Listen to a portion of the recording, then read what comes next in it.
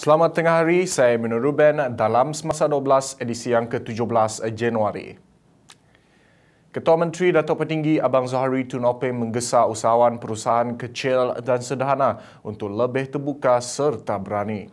Beliau berkata usaha tersebut penting untuk memastikan mereka dapat memanfaatkan fasiliti disediakan kerajaan supaya lebih inovatif dan mampu berdaya saing.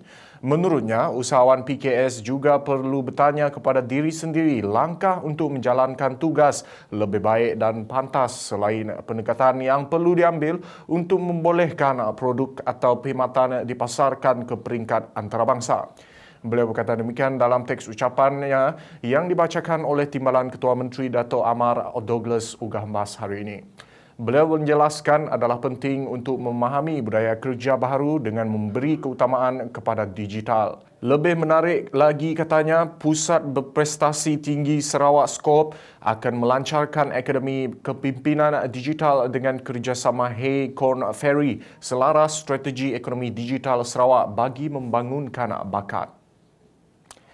Menteri Utiliti Datuk Seri Dr. Stephen Rundi Utom berharap cadangan untuk menaikkan paras ketinggian jalan yang sering ditenggelami air terutamanya di kawasan Ulunia telah dikemukakan kepada Jabatan Kerja Raya dan pejabat daerah untuk tindakan selanjutnya.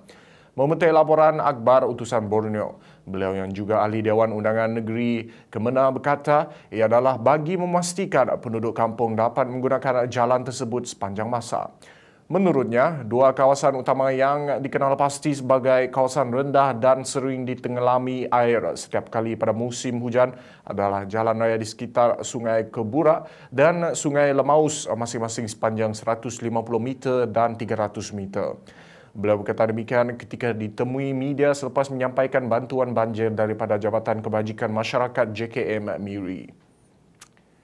Seramai 753 murid sekolah rendah di Sarawak tidak dapat bersekolah berikutan sekolah mereka terpaksa ditutup kerana jalan tidak dapat dilalui akibat banjir. Menurut Jawatan Kuasa Pengurusan Bencana Negeri Sarawak JPBNS, jumlah sekolah ditutup meningkat kepada tujuh buah hari ini berbanding lima sekolah semalam. Dua sekolah yang ditutup hari ini ialah Sekolah Kebangsaan Genaan dan SK Bukit Balai kedua-duanya di daerah Sebauh, Bintulu. Lima sekolah masih ditutup sejak Isnin lepas dengan sekolah paling banyak ditutup di Miri melibatkan tiga sekolah iaitu SK Sungai Bong, SK Kuala Bok dan SK Rumah Ranggong selain SK Kuala Kenyana, Mukah dan SK Nanggabon di Sibu.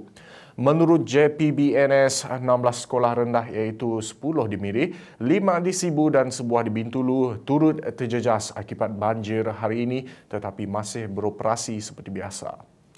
Berita itu tadi mengakhiri semasa 12 kita hari ini. Saya Menurut Ben, teruskan kesetiaan anda bersama tvsrock.com anytime, anywhere.